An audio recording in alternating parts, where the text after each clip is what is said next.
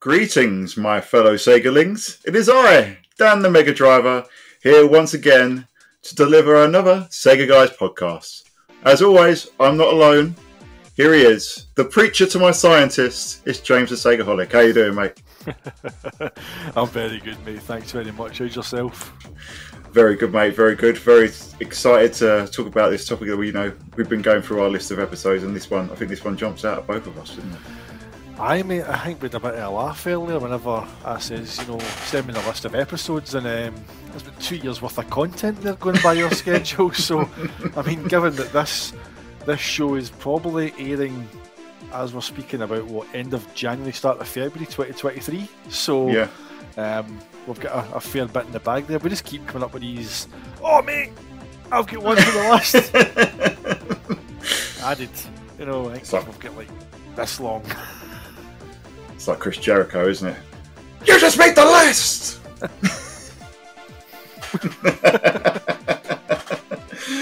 yeah, and as, as always, mate, it's nice to get a good a good load of shows in. I mean, if we're going to timestamp this one, I've literally just finished Sonic Frontiers.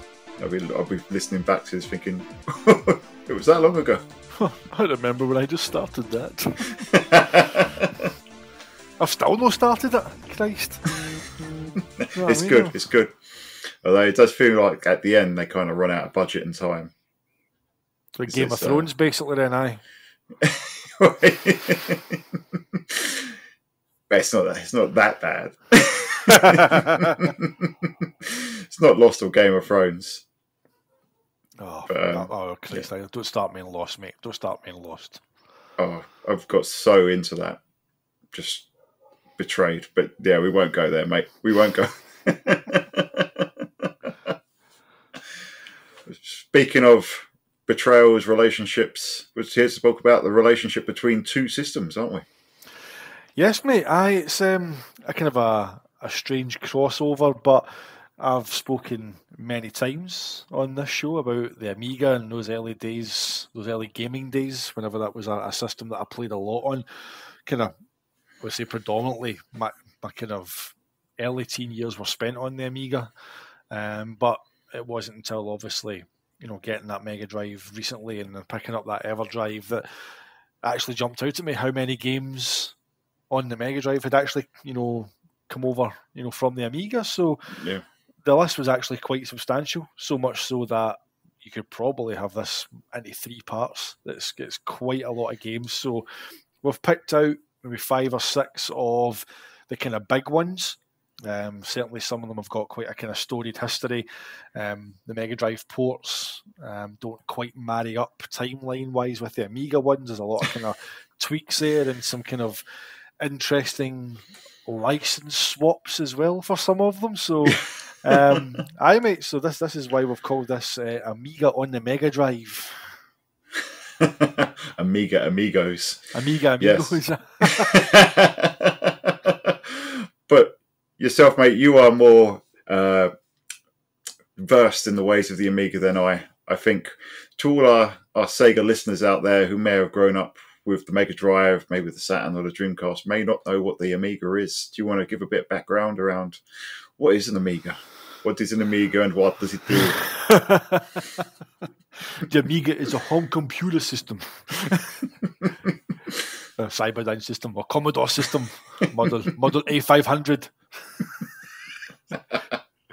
But aye, um, I say the Amiga home computer, um, pretty synonymous um, back in the kind of late eighties to early nineties in the UK. That and the Atari ST were obviously the kind of two main rivals. The Amiga was kind of more renowned for having the superior graphics, but the Atari ST was pretty much known for having a superior sound. Um, so much so that the ST was, I think, if I remember correctly, was used a lot by kind of like musicians back in the kind of late eighties and early nineties, specifically for that sound synthesizer that it had.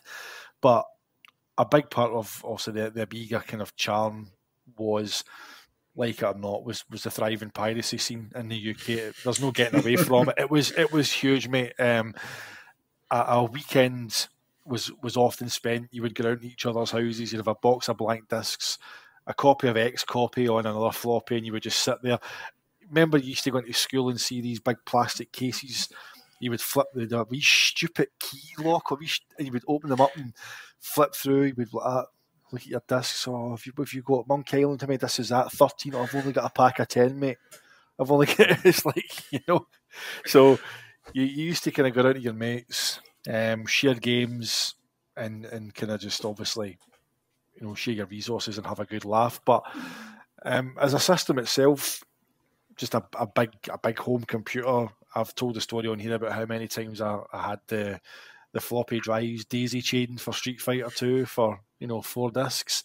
So it sounds kind of in comparison to obviously the kind of the Mega Drive and the SNES at that time, it, it was like kind of viewed as being kind of quite archaic and quite kind of far behind in that regard, and that it didn't quite have the the sex appeal of of a, of a console, you know. But I think one of the kind of main reasons why I ended up with an ST and then obviously the Amiga was, I think, at that time, probably cost.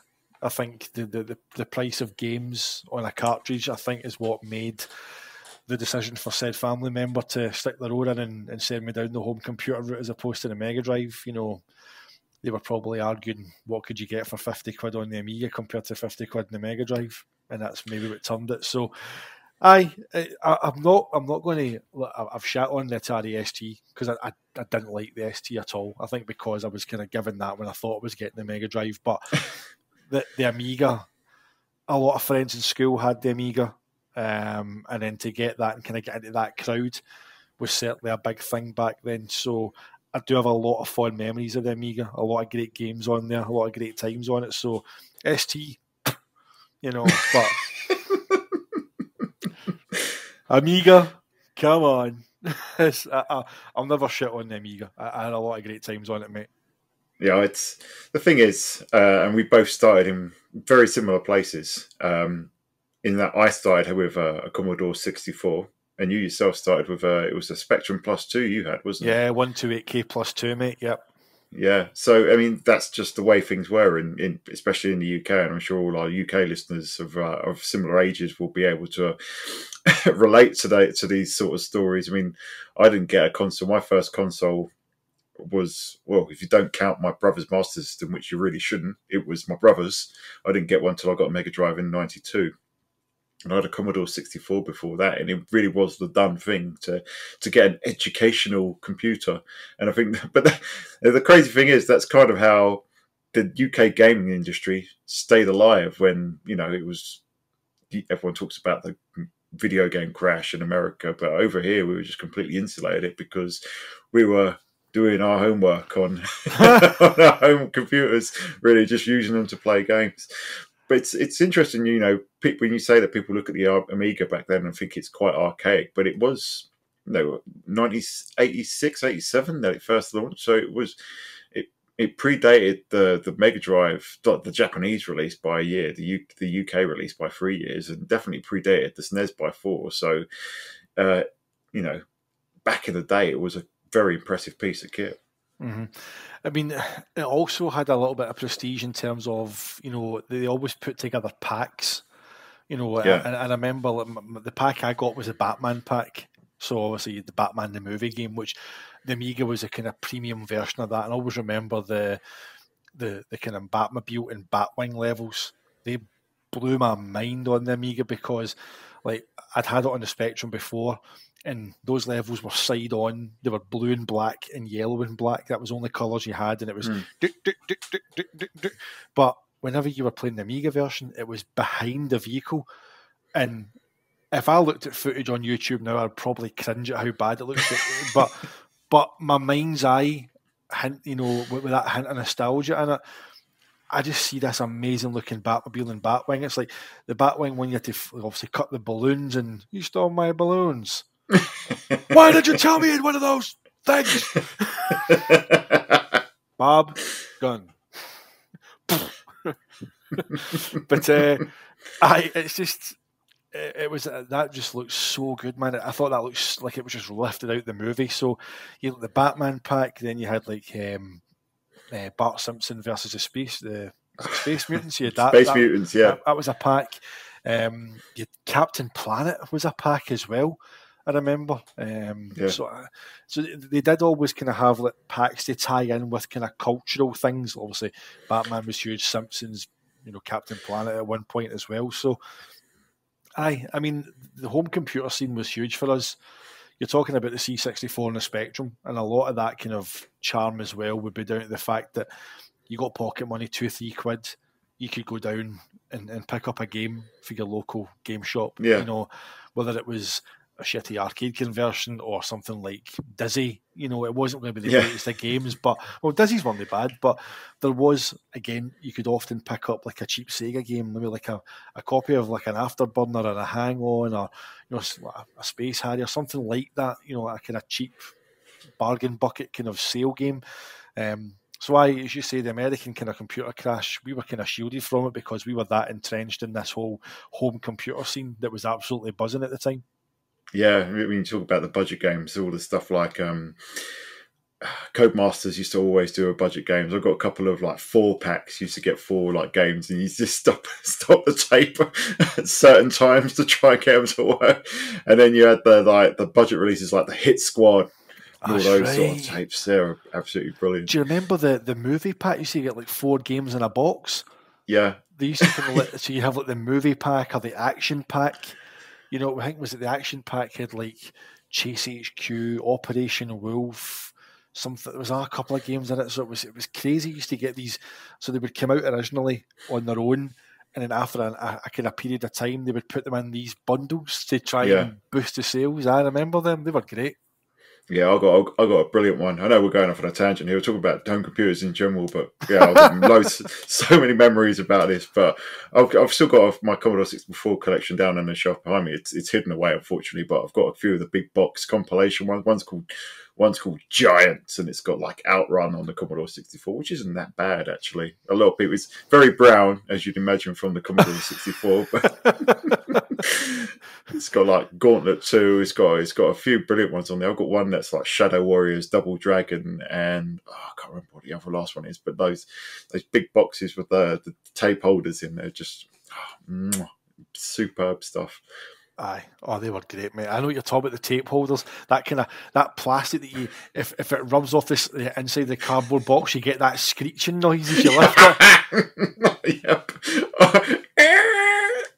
nails on a chalkboard.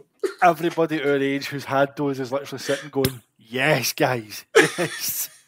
you can hear it. You know what I mean? So there you go.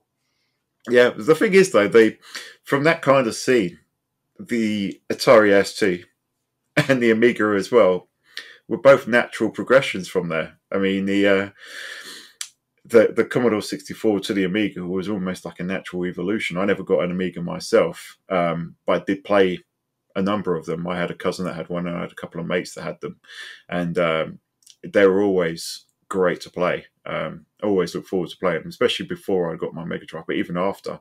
Um, and I think as we, as we, you know, when we start talking about the games, there were a number in there that were, you know, still better or preferable to play on the Amiga than they were on the Mega Drive. Yeah, no, for like nearly 20 minutes in, we'll just be sitting talking about the UK home computers. I thought they were, I thought they were fucking Sega guys. What's happening here? the home computer guys. Welcome to the home computer club.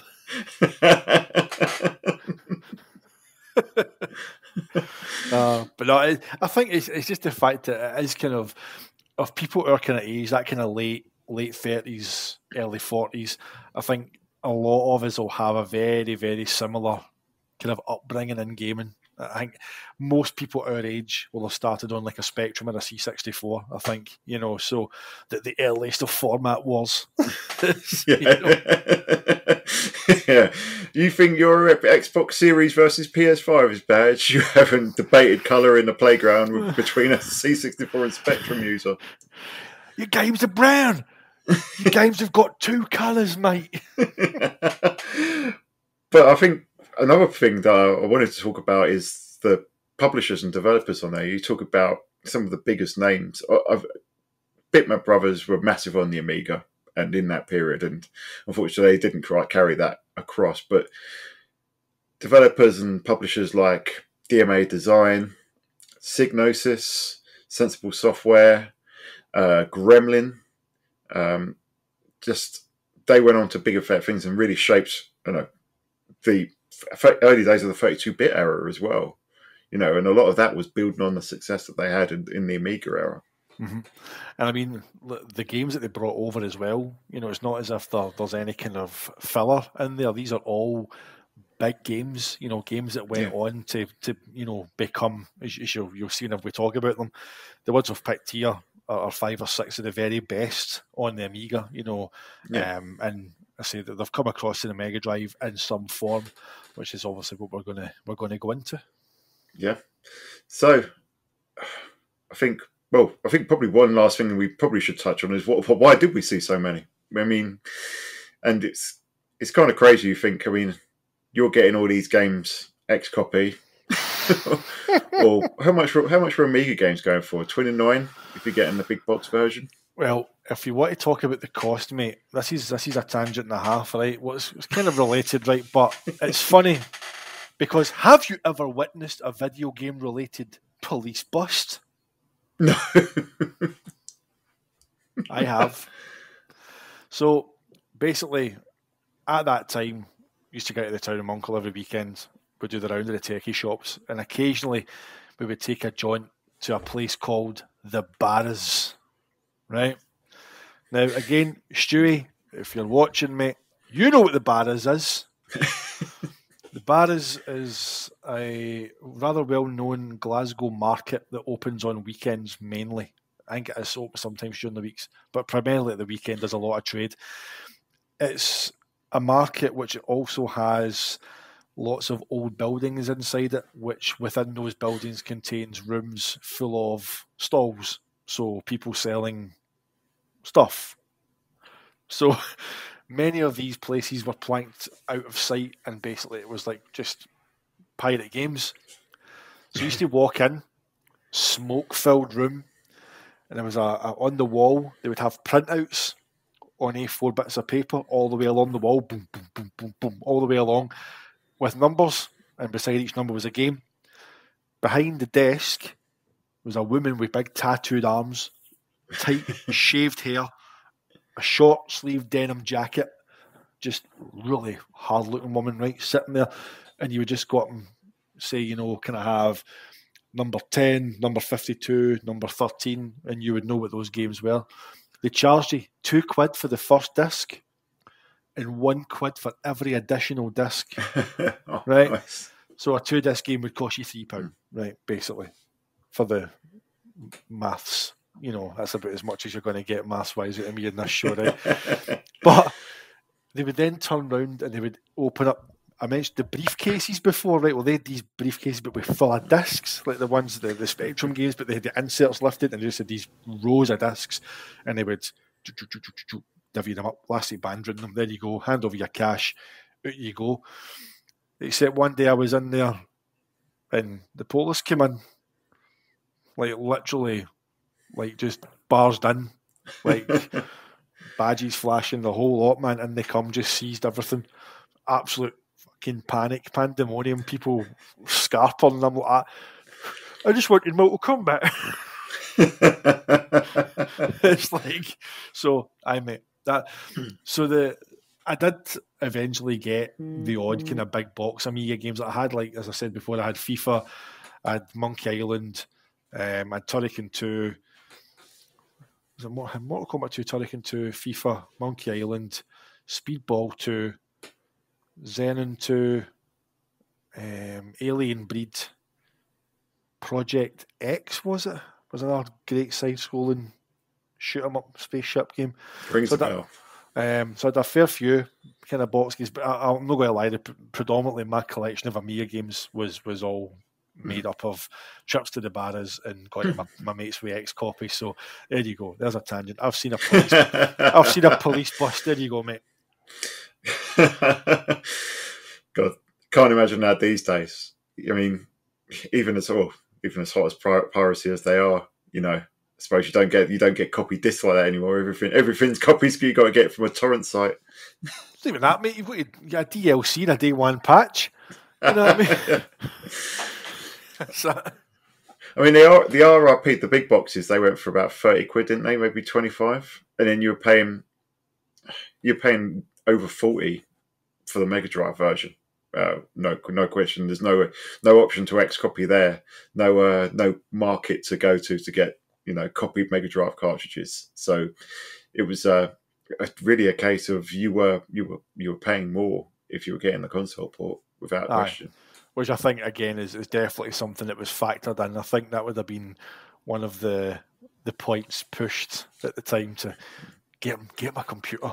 We can we can get games cheaper, but it doesn't have Sonic.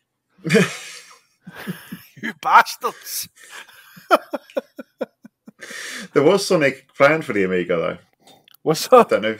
I don't know. I don't, yeah, there was the screenshots and everything of it. I know Aladdin came with the Amiga, but it's awful. Oh really? Yeah. Is it a port uh, of the Mega Drive game? Yeah, I think it only ran an A twelve hundred. Like if you, it was, um, oh, it was even at that, it was choppy as hell.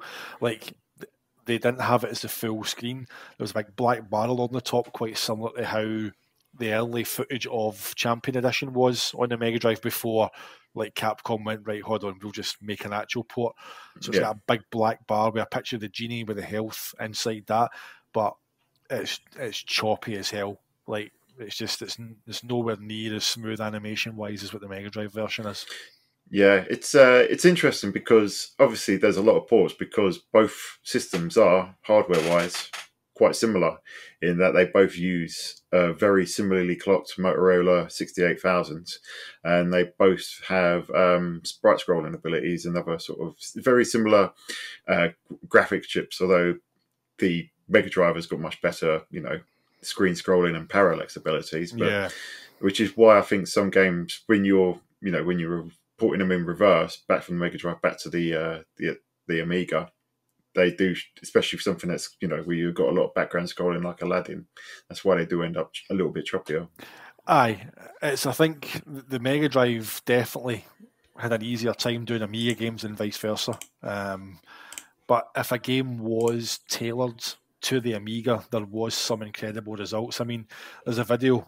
Um, I've mentioned it before to you. I've, I've said this on Twitter as well. There was a a guy actually took out an A1200 and actually coded what Street Fighter 2 could have looked like had it been made for the Amiga hardware. And it's actually bloody good. Yeah. The sprites are smaller, but obviously, whenever it was, was it US Gold had done the, the home ports? Yeah, it was, yeah. Yeah. And they didn't get any source code, so they were literally just building this similar to what Virtua Racing was done on the Saturn. Yeah. So if a game was done specifically for the Amiga, then it, it did tend to shine. But I, the the Mega Drive's graphical capabilities, you know, the the VDP and the, and the Mega Drive was far above, you know, what the, the Amiga could do. So Mega Drive could do Amiga games standing on its head, but going another way, hmm, kind of mixed results. Well, yeah, I think I think as we go through some of these, there are there are benefits in having the Amiga version, um, and I think you know we touched on the side of it when we were talking about your twelve Mega Drive games. You know, sensible soccer doesn't have goal scoring superstar hero, for example. Which uh, yes, well, tune? You're a goal star superstar hero. I actually had that as intro, the backing music to the, the intro for the, the World Cup pod. very very subtly. Don't know why I get done.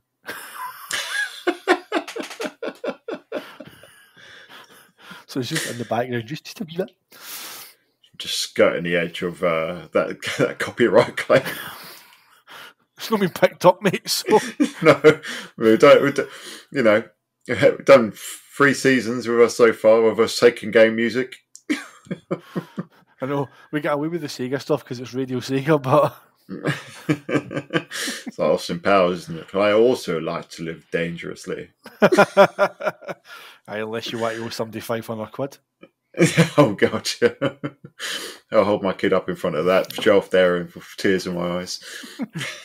I'm going to have to sell this to my kinsmate. oh, but mate, we digress. What, should we get into the games? Um, mate, as well. What is, an hour. uh, we're going to go with five. Yeah, we'll see. We'll go. We'll go with six if we have time. We'll go. We'll go. But, Sorry, uh, one, one's getting cut then, mate. oh god! But uh, it's worth it's worth it for the home computer chat, mate.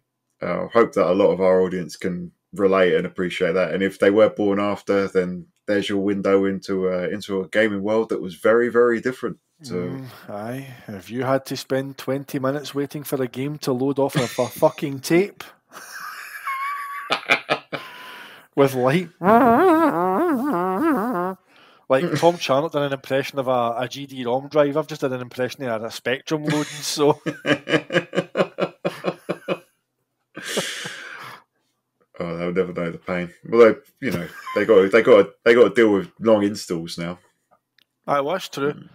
You know, yeah. sometimes I think a Spectrum game could load faster than some of these games and stuff. No, I was going to say, you know, if you get a game for Christmas, you know, as long as it works, it wasn't always guaranteed, but as long as it worked, you know, whether you're waiting 20 minutes or whatever, you're going to be playing at Christmas Day. You know, I, uh, sorry, we're going off on a tangent again.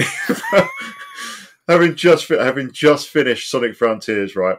I've gone to play God of War, which I got for my birthday. Um, 101 gigabytes of storage on the on the PS4. So it took me all day. It took my birthday. And so I'm glad I'm not playing it today. I'm glad I've got to finish Sonic first. So took all day to install it on the PS4. I thought that's fine. It's two two Blu-ray DVDs worth of, of game data on there. Finished Sonic Frontiers. I thought I've got I've got ten minutes. I'll have a go and God of War. Boot it up.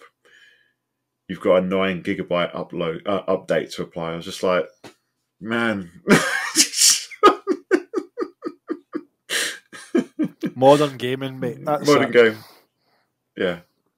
As I say, mate, home computers, a better time. But speaking of better times, mate, what is the first Amiga game that came to Mega Drive you want to talk about? The first game, mate, is an absolute corker. One of the Amiga stalwarts.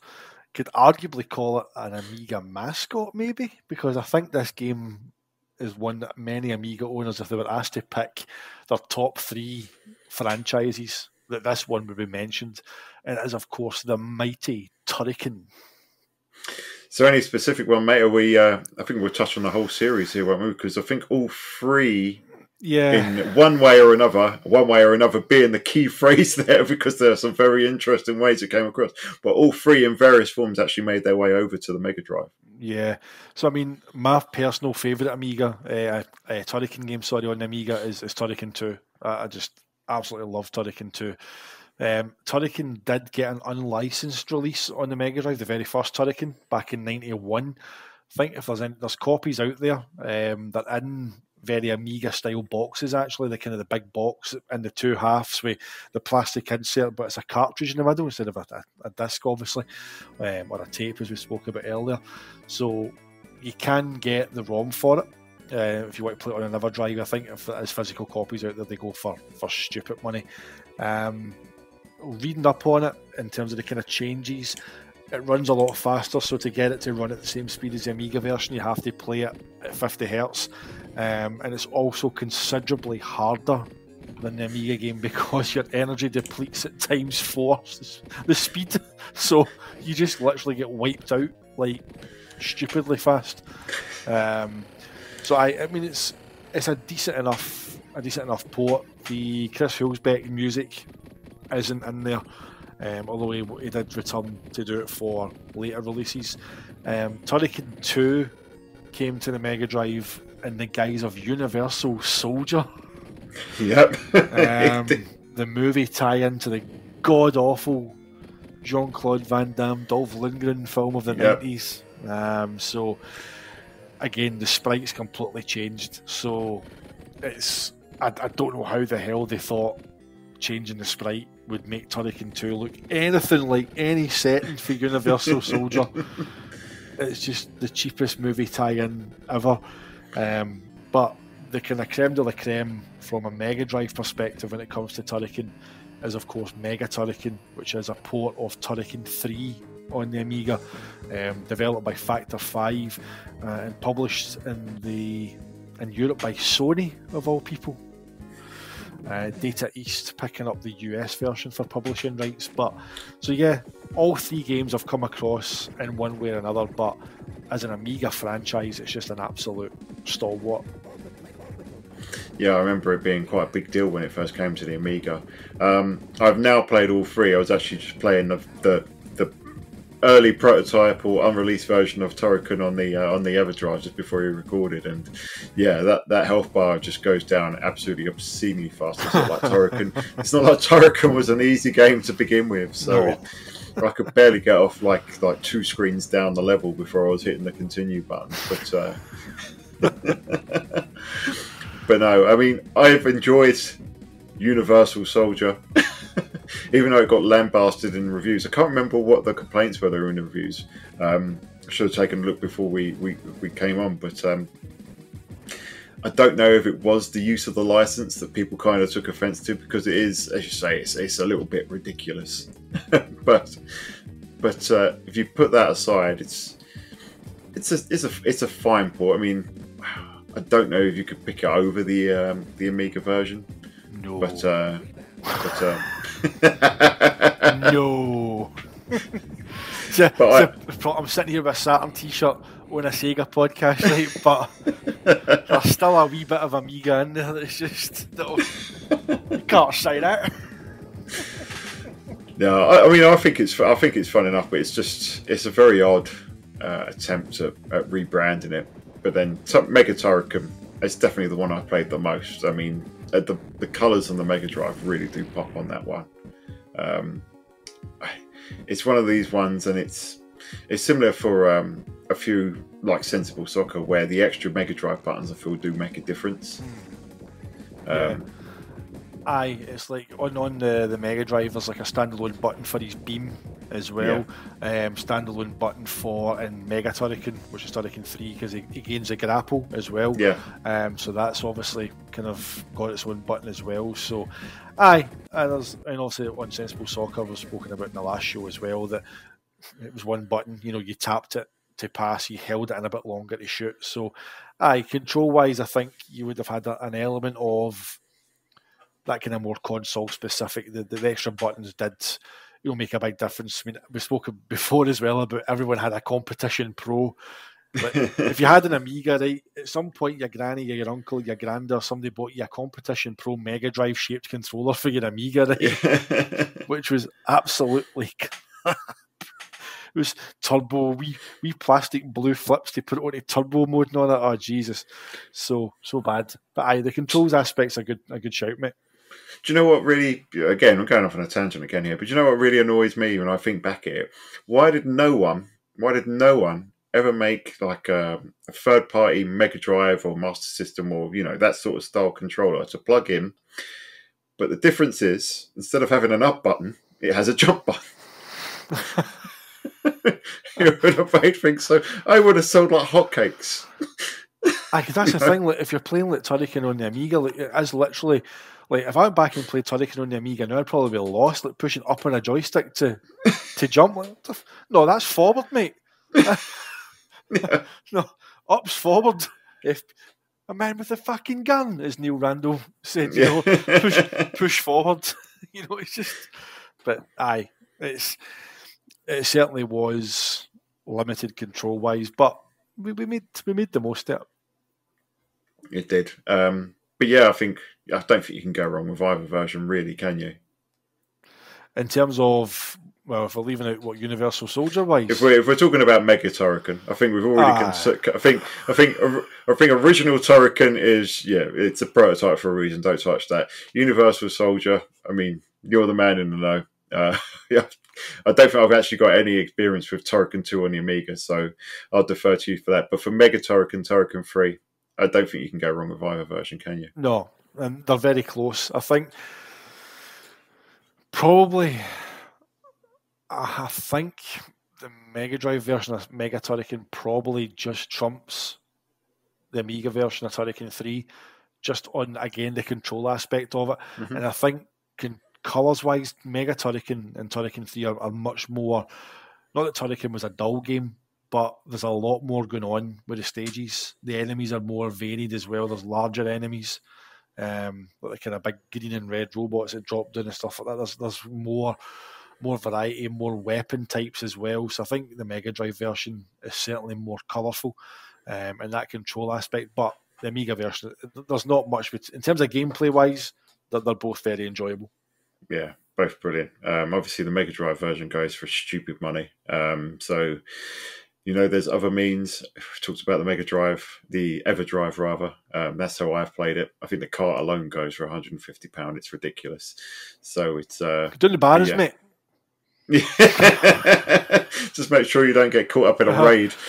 Number 42, Turrican Free. oh, but brilliant, brilliant game, though. Moving on to mate, what is your second choice? My second choice is possibly the Amiga game with the most hilarious intro music ever, although based around the touchy subject of war. It is, of course, the brilliant Cannon Fodder by Sensible Software. And what what a classic that is, mate! What a classic that is. Um, I've only ever played it on the Mega Drive, and uh, I can I can imagine that's probably not the optimal way to play it. Did you imagine you had it on the Amiga back in the day? Yeah, aye. And again, like the, the, the kind of the use of the mouse, obviously, kind of helping with that moving the cursor about a wee bit as well, and telling you wee guys where to go. And if I remember, you had one button to click where to move them on the mouse, and the other one to kind of make them shoot. If I remember, so it, it certainly was a bit easier control wise. Visually, again, I've not played the Amiga game in a long time, but at a first glance, the Mega Drive game looked a little bit duller in colour palette. I, like the wee soldiers didn't look quite as I say detailed. Not that they were mass sensible software, man. They've got wee bodies and big heads. It's like there's no there's no much to it, but I just think that the like the definition between like the the wee helmets they had on and, the, and their heads and stuff. I just think again might be my mind's eye making it look better, but the Amiga version to me seemed to be more detailed than the Mega Drive one. But again, it's not as if the Mega Drive is a, a, bad version to play. I've played the Mega Drive version on the EverDrive and had a ton of fun with it. It's still a great game. Um, I, again, just an absolute classic on the Amiga. I would have imagined it would have scored quite well in Mega Drive reviews and been well received. Um, a devilishly, you know, clever kind of puzzle style war game. You know, yeah. having to move your men around the map and take out targets, find your shortcuts, find your route to the goal, that kind of thing. Just a really devilishly clever wee game. And again, I, was a fun with that one. Yeah, it's the same. It's not one I actually owned back in the day, and I still don't own it now. But it's one that I, I have a lot of fun memories of. The Mega Drive version, that is. Um, again, it's, it's, another one that I end up playing in the EverDrive. I mean, control wise, uh, um, I mean, if we talk about another one, we'll probably cut on to another one that talks about you know the mouse and everything. Um, because I'm so used to playing with the pad, uh, I don't really think about it too much. Um, it's very much the same that you know you move your cursor around. Obviously, doing it on the D-pad is a lot more difficult than you doing it with a mouse. But once you get around that, you know you still got very similar controls. But there's so much character and charm to it. There's, I mean, especially you know the, the kind of the, the permadeath of your of your of your of your squad members, and then when you know when you restart the stage, you got your big lion going around the hill of, of, of recruits, and then the tombstones will go up all around it, and it's uh, God, it's brilliant. And then you, you, you can see how much it means to people when people talk about things. You know, you've got you've got Stu who you know, he's the namesake of Stu Cambridge, who worked at Sensible Software. And so many people say, oh, yeah, we always try to keep Stu alive until the very end. everyone, everyone else was expendable, but we had to keep Stu. Mm. But yeah, this was um this was a rental for me, mate. Rented it from the um from the video shop back in I think it was in a blue box, so it must have been around ninety four, maybe even ninety five. I first played it on the on the Mega Drive, but uh, it was still one that we just got completely lost in for a few weekends, and always a joy whenever I go back on it. Um, I think yeah, I can imagine the Mega the Amiga version probably having a bit a bit more kind of vibrancy and clarity in the visuals because in general and I haven't seen I haven't seen an Amiga for decades probably. Um, but I always seem to be I don't know have a bit more shimmer to them just have a bit more clarity even when there was less detail. They seem more defined if you see what I mean. Yeah Yeah. I, as I say, it just when I had the first glance at the Mega Drive version, whenever I put it on in EverDrive, as I said, it just seemed to me there was a, a kind of little bit of detail missing, and it was a little bit duller but it didn't look bad. You know, it, you could still, if you look, if you glance at it, if you were walking by the screen very quickly and you knew you were, you were oh, that's cannon fodder. It would, it's mm. the characteristics of it just jump out at you straight away. It's just all the sensible software games have got that kind of charm and allure to them. You know, from Sensible Soccer, Cannon Fodder, those little cool wee sprites that they've got. You know, just they're, they're just iconic and, and synonymous with them. So, I it's I had so much fun with that game. I mean the the intro music on its own, you know, in the Amiga, which was missing from from the Mega yeah. Drive. You know, whoa, never been so much fun.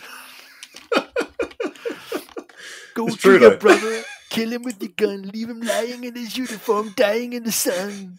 Whoa. Feel like Jackie Chan for, for Russia were here. Whoa.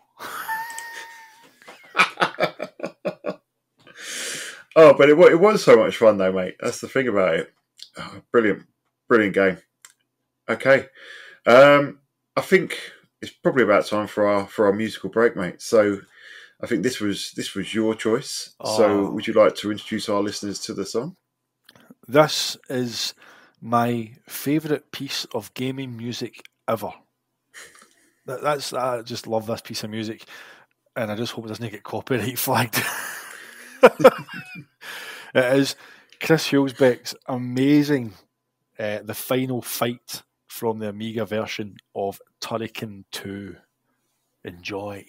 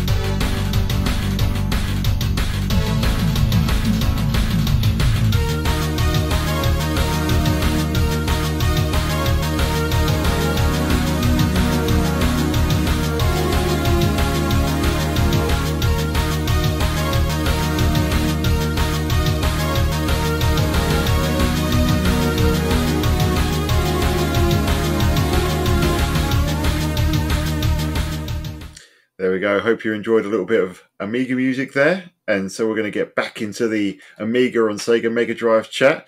And James is about to tell us how much he loves Rise of the Robots. Please, man. the game that was hyped up. People will be sitting going, that, that music's no for Rise of the Robots. Why are you coming back talking about Rise of the Robots? That's for Turrican 2, mate. Um, no, we were talking during the, the wee break there about Rise of the Robots, how it was hyped up beyond anything we'd ever seen. I think at that point in time, just as I said to you, there was months on end of screenshots and previews and features, and it turned out to be the biggest pile of dog shit I've ever seen in my life. like,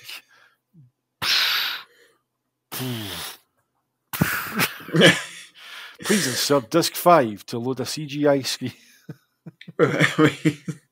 I mean, that's another that's another game that started on the Amiga that came to the Mega Drive, Mhm. and it was it was just as bad on the Mega Drive. Obviously, you didn't you didn't have the you did have the disc swap, but uh, you didn't have the uh, the CG intros either. Aye, but you had, but you had to, to swap a disc to, to, to load the CG intro, mate. So you you weren't missing much. They were awful. the game was awful Oh, in general. Probably goes for about eighty quid or something. I think that's one where I think common sense has thankfully kicked in. Tell somebody WATA grades it and sticks it in a plastic box. well, that's one that I wouldn't mind having WATA graded and kept in a plastic box, so I could never ever play it. Aye. so that's a reason to leave it sealed because it's shite. oh, but mate, what is your what is your next pick for Amiga games that made it to the Mega Drive? My next one is one by the legendary Bitmap Brothers, and straight away people will be shouting at their screen either Xenon 2 or Chaos Engine, which in this case it is the Chaos Engine.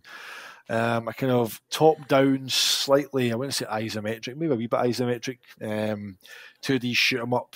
Again, really, really charming visuals. Bitmap Brothers had that that very kind of similar thing to Sensible Software, where their games had a similar look to them. So if you look at, you know, obviously Speedball Two was done by Bitmap Brothers. If you look at the the kind of camera angle style in the game on that, the the typing of sprites, the, the style of the sprites, they're very similar on Chaos Engine to, to Speedball Two. Um, just great fun game. Shoot 'em up, kind of slightly kind of maze based, traversing your way through these kind of landscapes. It's was it two two player, um, Yeah. but whenever you played it solo, the computer would control your your buddy, could swap out weapons, wee kind of power ups and stuff like that. Just a, again a really gorgeous game. Uh, I- one I had a lot of fun with, and again one I had a lot of fun playing kind of two player modes with friends at the time as well, um, back in my, my school days. But aye, a- another one that very similar to Cannon Fodder. When I loaded it up on the Mega Drive, I felt it wasn't as vibrant as it was on the Amiga. Um, detail wise, it looked okay. Um, I always remember you went into the menus and you had your, your, your kind of portraits of your, your character. Also, there was like four or five guys to pick from, and you had your wee kind of portraits. And I remember the the menu you went into to you know your weapons and all that kind of stuff. This kind of gold look that it had on it. Um, so all really really nice polished UI on it as well. Uh, but I know it's, it's a great game. Absolutely love the Chaos Engine. Bitmap Brothers are just brilliant. Their work's superb. Yeah, they were fantastic. I mean, it's like we were saying earlier in the show that they they were kind of legends around this era. All their stuff was fantastic. I mean, there's, you know, talked about uh, Xenon, Xenon Two, Gods, uh, all the stuff that came out of there. They were like like developer rock stars almost. They were fantastic. Magic Pockets, mate. Do you remember Magic Pockets? I did play Magic Pockets. No, Here's the thing? I've got a total as a tangent and a half. Do you remember whenever was it BBC to have a, a mod alive and kicking, and you would phone in and you would play the game on the phone by going yeah, jump, fire. Right? I'm sure Magic Pockets was one of those games. That in a game called Hugo. You're in a cart. That was on the Amiga as well. Hugo, you're, t- you're like a wee, a wee elf guy, and you were sitting in a, a kind of cart going along this track, and you're to, oh, just mega tangent here, mate. But uh, Magic Pockets by Bitmap Brothers, I'm 90% sure that game was on one of these morning, Saturday morning kind of like games. You would phone in and say, jump, shoot, whatever, that kind of thing. anyway, mate, aye. Bitmap Brothers, legends. Oh no, it just unlocks a memory. Um, and this is this is almost completely unrelated, but talking about the games you play over the phone, I can't I can't actually remember any of them except for one. And the reason why I remember it is like a caterpillar going through a maze, and I think it was on live and kicking maybe or going live or something something like that. The only reason I remember it is because. You know, back in the day, we didn't have, we didn't buy many of like the official Disney videos, so we'd record them off the telly. and someone, someone had recorded, a, I think it was Aladdin, and then recorded over that with someone playing one of those games. Just to, I think, I think just as a just as Aladdin first meets Jasmine, it's like the music goes, you know, goes do do do do do do do jump, jump left, left, left. Jump.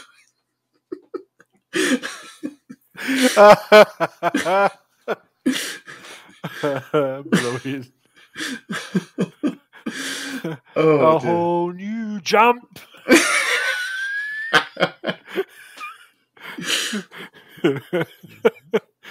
Prince Ali left. It's ruined the film. so I've got I've got Blu-rays of the Transformers now, so I watched the, to watch the movie on. But every time Unicron says "destroy the Matrix," it sounds wrong to me because we had it again. We had it recorded off the telly, and whenever he said it, the tape was so chewed up. It'd be tracking to go all over the place. You can make out it was completely inaudible what he says. So when I hear it now, it's weird. So, so basically, it's not the tapes mangled. You've you've just got Orson Welles outtakes, mate. That's all you've got. yeah, yeah. Can't believe you're making me say this shit.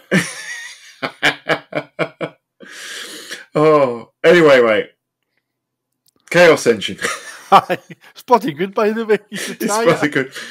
Yeah, again, I've only ever played it on the on the Mega Drive, and uh, yeah, I think in terms of content, it's pretty much identical. Uh, again, I can imagine that kind of Amiga sheen is going to be kind of missing from it, but again, I think maybe the extra buttons help again on the Mega Drive.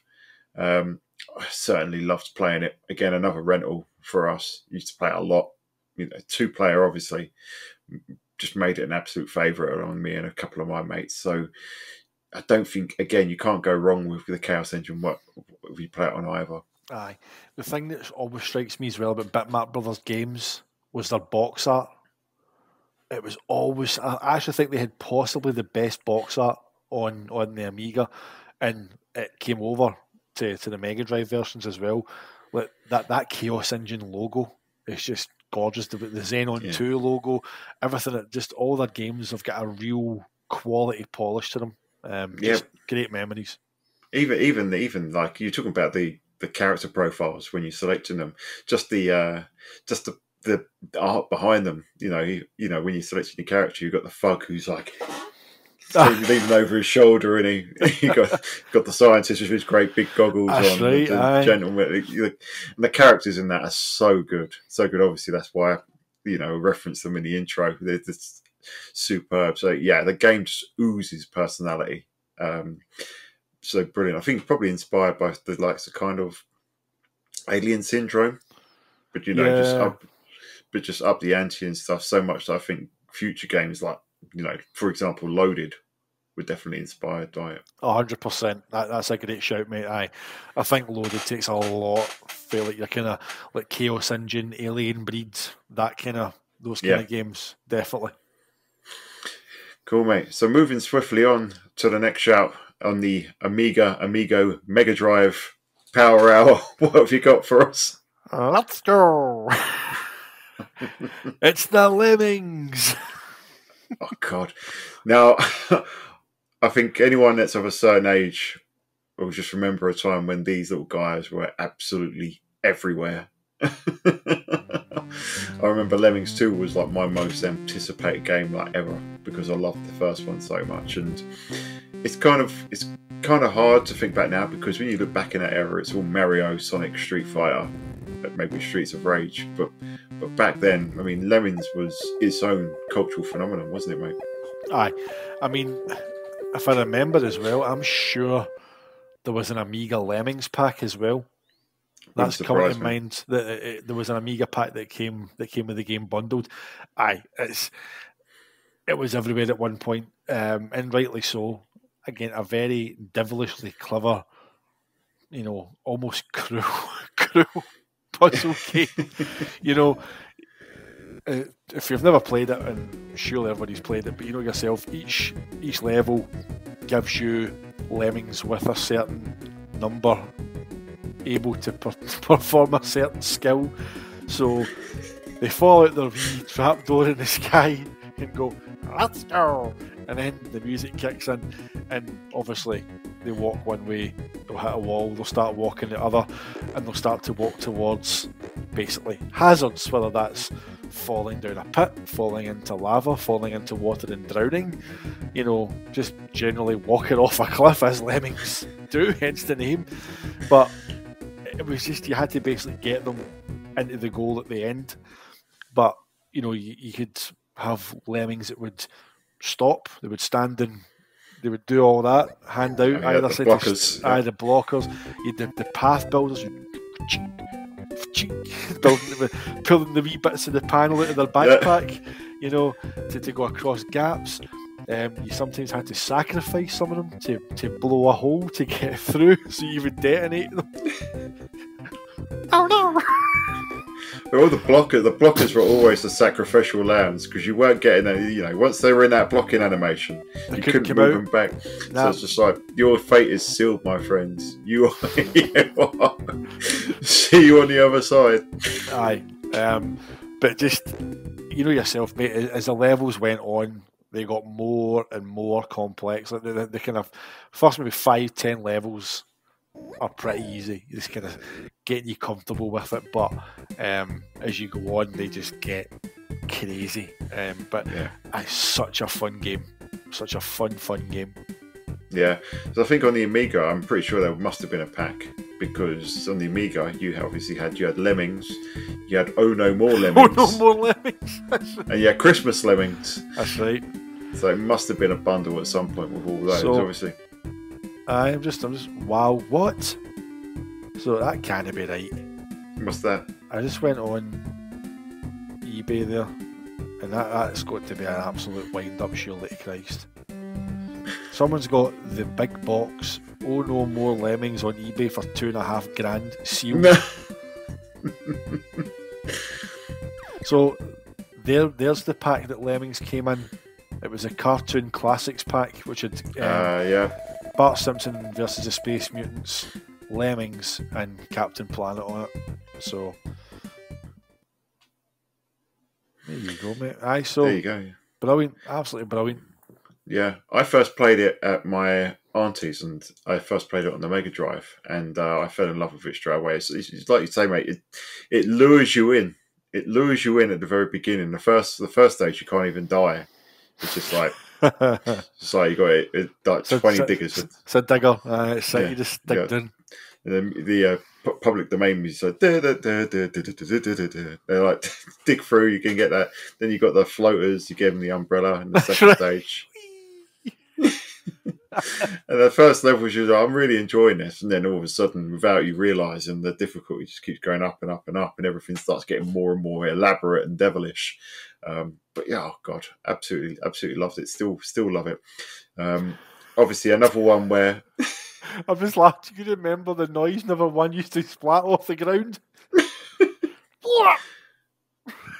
oh, you see, you see, it was different on the Mega Drive. So the Mega Drive, it it, it just went. no, they actually used to go. It was like they would literally splatter me. Oh, see, it was it was different on the Mega Drive. It's just it's more like a, like a sad whistle when they when they of went on the on the floor. So I know the sound is very different on the Mega Drive, and I actually uh, I actually prefer the prefer because probably because it's you know in my head the bias the the way that the sound is on the Mega Drive just sounds completely right to me. It's a lot more a lot more techno, a lot more funky. Um, music by uh, Cold Storage actually. Uh, Was it? yeah. Wow. Um, Tim. Oh, I feel terrible now. What is Tim's name? Boy. Uh, come on, Tim Wright. That's the one. Fantastic musician. Um, done the Lemmings games, obviously for Psygnosis. So did the Wipeout soundtrack as well. aye, aye. Um, fact, I actually think Cold Storage, their tracking Wipeout on the PS1, I their track's actually my favourite one. yeah, that's what it's like. Um, the Wipeout games on Saturn. It's like you don't get the licensed music. You No. only get you only get cold storage tracks. Like, they're the best ones, mate. We've got nothing to worry about. Keep your prodigy. Don't want Firestarter. That's funny. Yeah, listen to that on now twenty eight. I'll listen to this is the body in motion. Thank you. but yeah, it's just it ticks all the boxes. Lemmings. It's just it's just so good, and yeah, it, it was kind of a cultural phenomenon. It's it's looking back, you kind of realise the pedigree it had. You know, DMA Design, who would go on to make a little game called Grand Theft Auto. Just a wee game. Yeah, never, never, amount, never amounted too much. yeah, Rockstar North, who I think they still are the light the leads for for Grand Theft Auto games, aren't they? So even today, and then Psygnosis, who you know, obviously Sony bought a publisher who Sony bought, publisher being the key word there, but helps the PlayStation become what it was. I mean, we're just talking about Wipeout just now, the amount of games that they they released. So both of them went on to do massive things.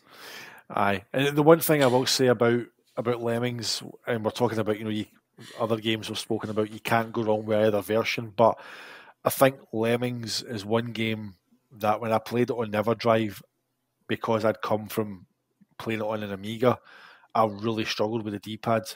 Like I don't know how a Mega Drive only gamer would have been able to get the cursor over the lemmings in time. With, a mouse, it was just like you were flying at the. You could you could like really catch the wee guys just as they went off a cliff. You had to make them a floater kind of thing. You could cap, you could get to them in time with the cursor. Yeah. Whereas I just think trying to drag a cursor over with a D pad with it, it just felt a little bit more cumbersome. So I think that's that's one game. If you if you had to ask me to pick where I would play it, I still think I would lean towards the Amiga on that one.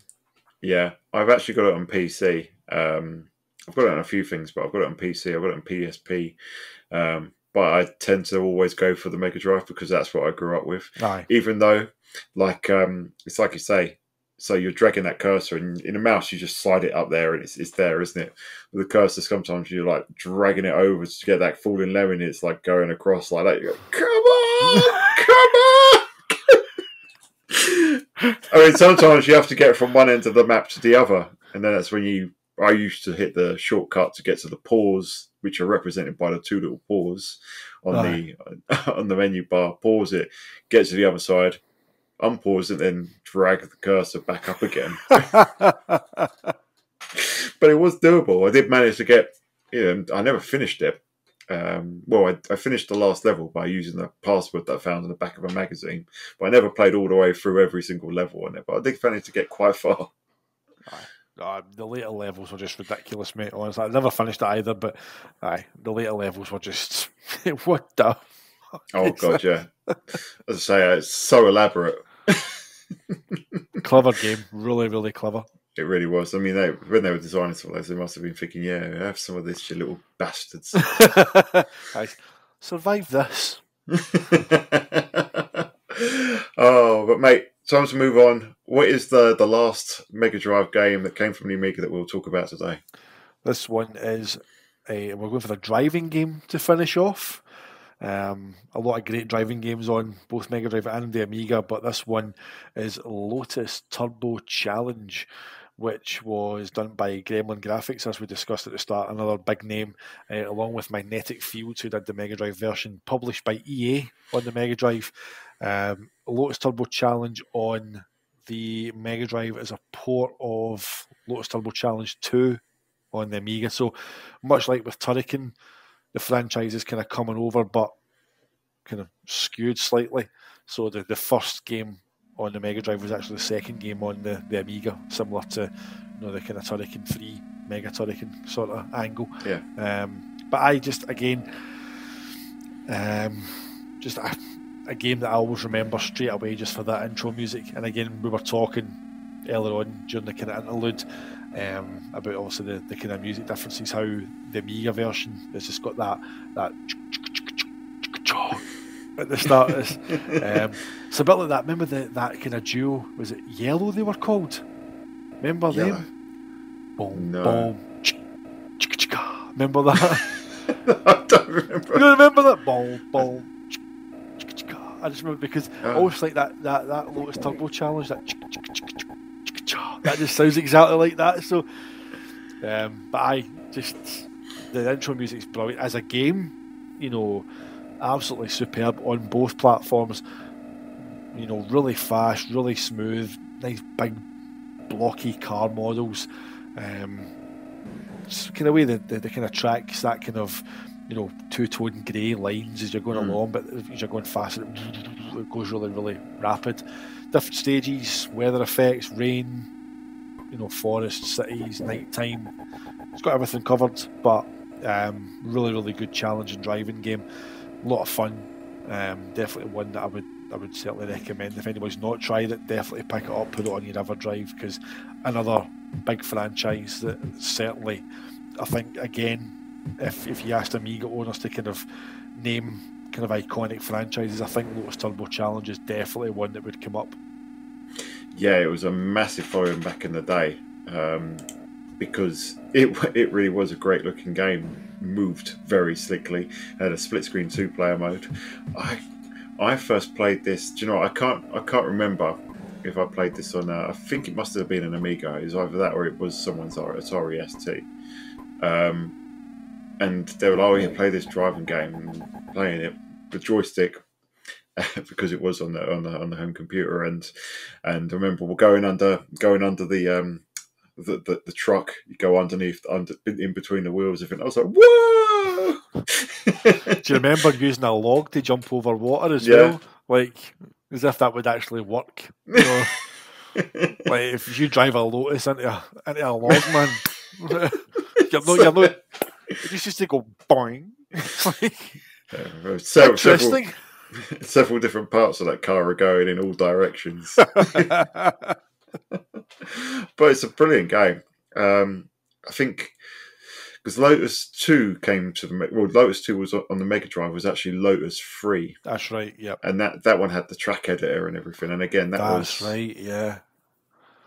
And that was again published by. I've got I've got Lotus on the Mega Drive again. It's another one of those games that it's like you're saying, mate. It's it's a very iconic one from the era, and I think a lot of people, especially in the UK, will be very familiar with it and uh, certainly the point for me. It's another one I wanted to have in the collection, just to just uh, you know to put on every now and again, and just you know take me back, whether it's whether it's thinking back to when I was playing it on the Amiga or whether I was you know when I was playing it later on the Mega Drive.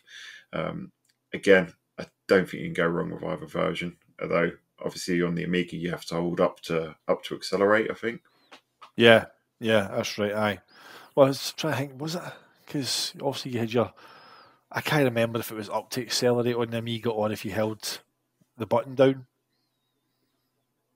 Or was it up to accelerate and back to brake? Memory escapes me with that. I can't mind. Hmm. Minute look at that one. I need an I need an Amiga emulator after this episode, mate. I'm telling you. I thought you were going to say you need. I thought you were going to say you need a new Amiga. No, mate. If I tried to bring an Amiga in this house, don't forget the Amiga came with a power pack with a it, it was a brick, mate. This was yeah. it was literally shaped like a brick. Like the Xbox 360 power brick. No, we see the Amiga. It was about that that tall, mate, about that. From memory anyway. But I mean I'm I'm just looking at the at the kind of release dates.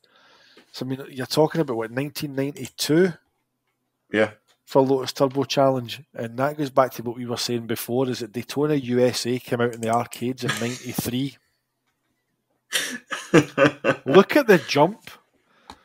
You know, and this is why, again, we spoke about the respect at the Saturn port of Daytona USA. Massive tangent, but slightly linked. The respect that the Saturn port of Daytona deserves because we mentioned that word in the previous episode when we launched the Saturn launch games is it you know respecting the ambition of the Saturn port of Daytona, because as I said in that episode, you went from Daytona UA, you went from Lotus Turbo Challenge to in '92 to walking into an arcade and seeing do do do do do do do do do on a Model Two, and then only what two years later you're playing that in the home. Madness. Yeah, that's what you call a generational jump, mate. Yeah, forty cars on the track as well. As I was saying the other day, no, no other, only one other game in that whole generation did more than a handful of cars, and that was the only other one was F Zero. Like, yeah, right, F Zero ran at sixty frames per second, but look at the level of detail in in F Zero. I mean, it really stretched. But I don't think there's any texture mapping in there at all. Um, great game, great game X F Zero X and one that one of my favorites on the N64. Uh, but you know, it did have to make a lot of sacrifices to get several cars. It didn't have any texture maps, whereas Daytona, a game that came four years before, you know, had 40, 40 cars on a track, all with their own fiendish AI as well, with absolute scallywags trying trying trying to get a good time on there the other day. Oh mate, I, I don't know how you got that time. By the way, I, I could not break two twenty eight. Well, you must have been taking that last hairpin like an absolute demon because I felt I was going too slow. Like, and else I was skidding too much. You burned up your tires. Shut up. like, I think my first lap, my best first lap was a 17.56. And I thought, well, we've got a chance here. Next lap, 19.08. I'm like, start XYZ. no. But that, that was a great thing. Do you know what? It doesn't even feel like a CD game. I'll tell you what. I was restarting so quickly. I mean, Sega Rally, Sega Rally, start, press down, go to restart, hit start. Then you get the splash screen. It's a desert course. Aye. It loads a bit. You zoom into your car. There's like crash, start, X, Y, and Z, rolling, start, crash, and and it just goes. It just it just flips straight back to the beginning. It's it's it's an amazing game, man. It's an amazing port. I mean, I don't think even the 360 version loads that fast. No, just your Saturn lenses inside going like that. For fuck's sake! I think I think the timing must be off for the NTS, NTSC version because you look at the top score, top times in that versus the top times versus the 360 and PAL Saturn versions, and there's definitely something awry there because it was like about eight seconds behind. I mean, I know there's disparity eh, as an off tangent. There's a disparity on the PAL version of Sega Rally compared to the NTSC one because the PAL optimization, obviously, it's not running at 60 hertz, but they've sped it up so that it feels the same. So the PAL version of Sega Rally is, is known for being a wee bit faster than the, the, the American and Japanese versions, just through that PAL, up, that PAL optimization. Yeah. That's all. But aye, there you go, mate. Lotus Turbo Challenge, 1992. But uh, yeah, I don't think I don't think the brilliance of what came after can really uh, throw a shade on what that game was, and that game is that game is excellent. Uh, so again, however you play it, you know, it's a Sega show. You probably should play it on the Mega Drive, but uh, you can't go wrong either way. Aye, I mean, it's probably the, the easiest way to play all these games now.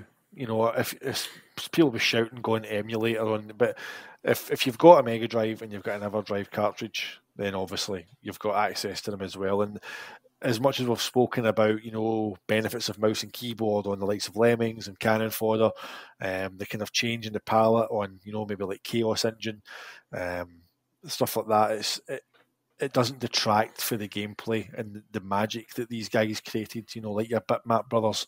Um, nothing would detract from just how great the gameplay, no matter what version you play on, is intact. So, uh, if you've not played any of these gems, then I certainly suggest that you do so because they're absolutely bloody fantastic.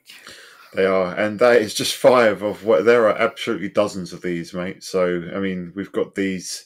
If anyone likes this this crossover with the Mega Drive and the Amiga, two two systems that share a lot of history, a lot of architecture, and uh, a lot of great games. Um, let us know. But we've, you know, we've got we can bring more of these games in for a future episode, and we're also looking at the reverse, possibly for another episode, aren't we, mate? With Sega games on home computers. Yep.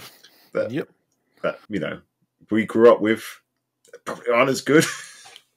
that, that, they do hold a historical significance. So. Aye we we thought we would try something a wee bit different because obviously we, we also we're, we're a Sega podcast and you know the the only kind of Sega link we've got here is the fact that these were games that were on on the Mega Drive, so it might feel a wee bit less Sega than previous shows, and obviously we've been doing this for three seasons now, but it's just trying to mix it up a wee bit, try and kind of take a different angle at things, maybe introduce some new topics. So hopefully, if, if people have enjoyed this, you know, let us know on Twitter you know, let us know if you speak to us on whether on Sega Power Discord or the this, the Radio Sega Discord. If you see us, let us know if you enjoyed it. We can certainly look at doing more of these. There's at least I think we done our initial list was twenty. Yep, that, that we had. That's another um, four shows. you know what I mean. So easily. So if people enjoyed it, then let us know and we'll, we'll do more. But yeah, we are going to go the other way um, and look at Mega Drive games that obviously that went to the Amiga. So straight away you've got stuff like the EA stuff, Desert Strike, FIFA, stuff like that. You know, amongst yeah. many, many more. So if you enjoyed it, let us know. We'll do more. Absolutely. Uh, Afterburner, Outrun. Hang on, Space Harrier. You know, just the list is endless, and US Gold might get mentioned a fair bit. Oh, in glowing ways, I'm sure. okay, well, that'll do us then, mate. Yeah, so please let us know if you enjoyed the show. If you'd like to hear more, you can catch me at Swooper D. You can catch James at the Segaholic. You can catch the show at Sega Guys, assuming Twitter's still alive by the time this goes out. Imagine that, mate. Elon Musk, in the time between now and this show going out, just pulls the plug on Twitter. assuming Operation Blue Check works out, we will see you on the Sega side. Sega.